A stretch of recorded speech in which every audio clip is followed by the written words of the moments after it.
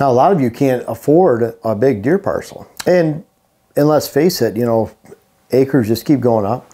Um, and they go up reflective of uh, your salary. Salary levels are going up a lot slower than actual the cost per acre. So someone's buying ability of X amount of acres has been reduced over time. It's the way that's the way it's worked. Um, looked at back in the day, someone's salary to buy an average 40 acre parcel, it was half their salary just someone working at General Motors. And I'm not saying the General Motors working in the plant. That's where my dad worked for 34 years, and uh, he retired from there.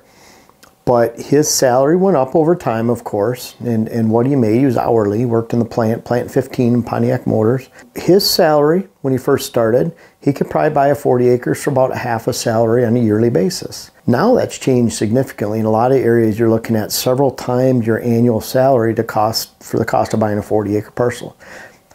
What I like to do, and we look at about half our parcel sizes on a given year might be 50, 60 acres or less and and then our average might be 100 acres. And we look at a lot of parcels that are three four 600 acres 500 dylan said he's going to maryland. He's looking at an 800 acre parcel pretty soon. Kevin smith in ohio is looking at a parcel i believe is down in arkansas that's 1200 acres. He talked to someone that was similar size in pennsylvania recently.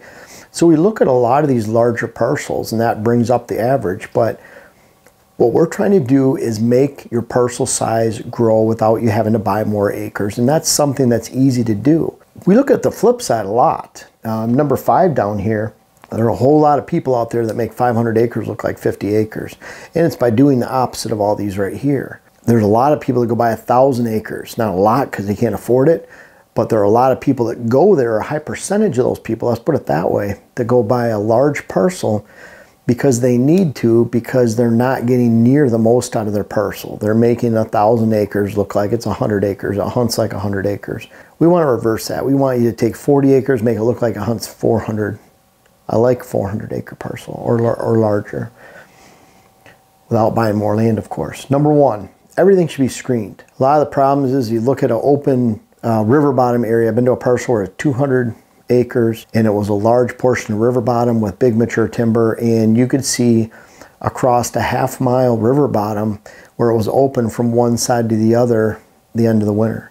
Those deer have nothing to hold on to. They run through that fast. They're through that in 20 seconds, 25 seconds, a half a minute. They're already through the property and they have one disturbance in there, smell, hunter set, and they're off the property. So there's 200 acres. I've been to a 160 acre parcel in Michigan where it took longer to, to snowshoe into the parcel because of the easement to get into it than it did to actually look at the land because it was 155 acres that we could see all at one time standing on a knoll in the middle of the parcel. Those kind of parcels seem very, very tiny because you can see every square inch of it and you don't have screening. What should be screened? We talk about screening everything. I used to have when I gave a lot of talks and habitat seminars back in the day, we're talking early 2000s, mid 2000s. I had a transparency. You know, this is before I even had a PowerPoint presentation or a tablet or anything um, or a projector. This is literally bought a transparency, a projector, made transparencies. And in that time, I had one that we talked about, you'd screen everything. And meaning you screen, your food plots should be screened, your bedding area should be screened, your access should be screened, where water holes are should be screened. You want to give deer a level of security in those areas. Their travel corridors, where they travel, you can't expect them just to go right through the middle of the woods. It was interesting because I've been on parcels where they, they looked at back in the day, they, they put cover over the top of a deer travel corridor through a hardwoods with small whips and saplings with the thought that the deer would just walk right through that like a tunnel. Well, all those leaves are gone and they're just little sticks making that, that tunnel. And it wasn't enough to attract deer to actually walk through there because it wasn't screened. You could still see 200 yards in every direction. We've seen bedding areas like that, bedding areas that are create more of a, they're created by making more of a trampoline effect where deer are under that bedding cover and they can still see 150, 200 yards in any direction. That makes a 40 acre parcel look really, really tiny, let alone a 500 acre parcel doing the same thing. So screening, make sure that deer can't see past that next line. And if you're just focusing on your access, the edges of your property, food plots, bedding areas, water holes, deer travel corridors, you can imagine there's a lot of screens starting to take place on your property and all those screens start to slow down deer and the next thing that really slows down deer is you're taking, okay, this area should be a bedding area. We're cutting that down, and, and you're making this so that your bedding areas should always be bedding areas. Your food sources should always be food, food sources. You're not relocating these as the years progress because you're cutting more here over here. Your bedding area should have a lot amount of uh, high amount of diversity. Should have a lot more sunlight hitting to the ground. They're usually smaller in nature, one, two acres, half acre, quarter acre, depending on the size of the parcel. And that's where you add diversity. If you have hardwood regeneration, you're adding conifers. If you have conifers, you're taking conifers out and adding woody regeneration, trees, briars that are going to come into the inside of those those bedding areas. The bottom line is you're creating a lot of diversity within there. Then you have your general timber stand improvement. When you have tops on the ground, that's why you never chip your tops, never take your tops out of the out of the property that you have. You want those to screen deer from deer, from deer from hunters, and that's called side cover. Side cover is critical. It's, you know, overhead cover doesn't mean anything. Side cover, where there's hardwood regeneration, logs, tops, hills, debris from logging, that's all screening deer from deer and deer from hunters. That side cover is critical, and it also, just in the act of logging your property, creates diversity. It creates, you put tops on the ground, it breaks up the woods, and deer can't see. Number three, limited hunting pressure with smart hunting.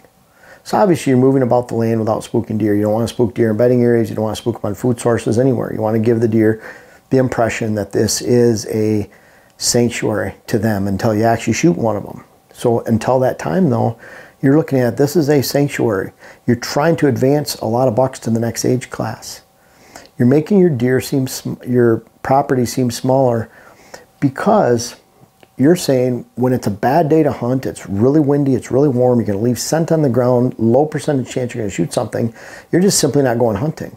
The more you really push it and press it to get on the woods, out in the woods, and hunt times that aren't necessarily appropriate to hunt, then you're drastically hurting yourself and your potential for the land. And we can go again, you know, one of the factors I don't list here is when you have too many deer, when you have too many does and fawns on your land, when you're creating a fawning, a deer factory, doe factory, where you actually have lots of does and fawns on your property, that makes your property seem a lot smaller too because you have excess number of deer, they're taking up space and that's another factor, but that's another strategy too. You're limiting your hunting pressure. You're making sure you get on and off the property without spooking deer. And of course, if you have too many deer, you can't do that. You're choosing the best days. I highly encourage you to check out HuntWise. That's my algorithm infused into their hunting weather forecasting algorithm. It's the best on the on the uh, internet the best app out there for predicting when you should get in the woods to hunt. It's based purely on the weather.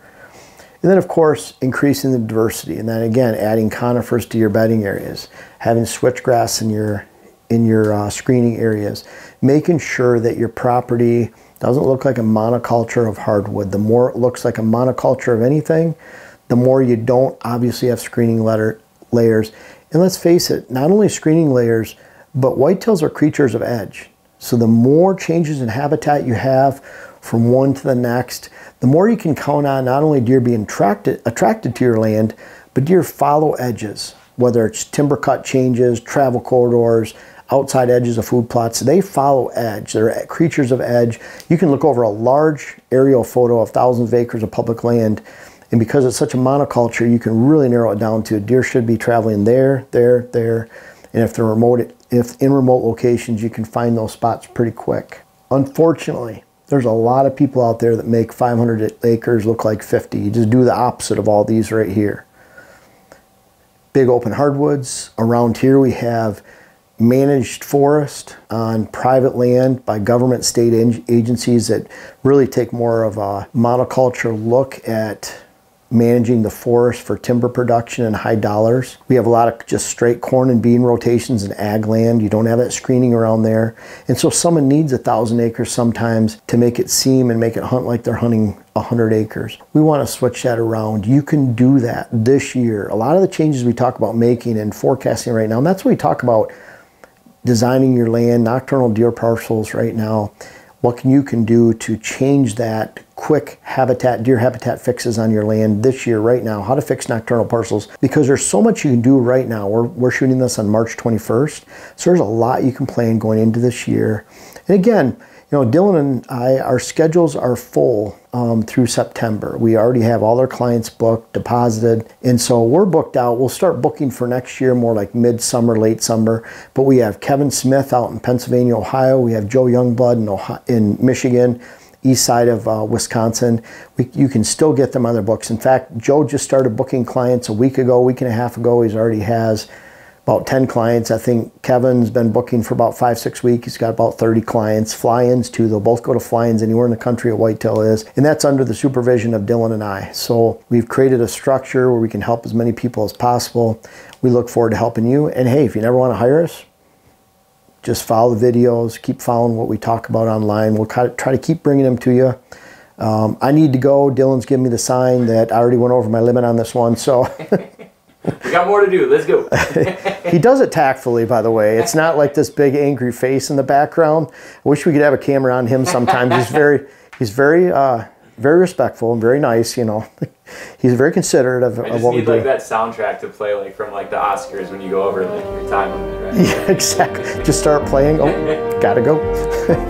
but anyways, we have fun doing this. We talk about a lot of other things be besides videos and doing that, and and sometimes we go a little bit long. But bottom line is, a lot of times we strategize. This is a video idea that Dylan thought we should do on. We've touched in this in a lot of areas where you can make a large parcel look very small. You can make a small parcel very large, but we haven't touched on this topic just as a whole for a video. And we're always trying to explain things and come up with different ways to teach you so that you can get it right and do it right this year. Again, this can happen very fast, and we want to see you turn your hunting around this season and beyond. Again, it doesn't take a lot of time. You can do it right now. Folks, I want to make sure you check out my web class video series, whether it's how to design your food plot program or how to design your property in general. And we have a new one coming out that'll be how to hunt the rut. But these bucks back here are testament. Some of these bucks go back to 93. They're even in different states. I urge you to check out those web classes that you can help yourself, help your land, help your hunt. The link is in the description. And also for those that have tried them out, I encourage you to offer some feedback in the comments below. Thank you.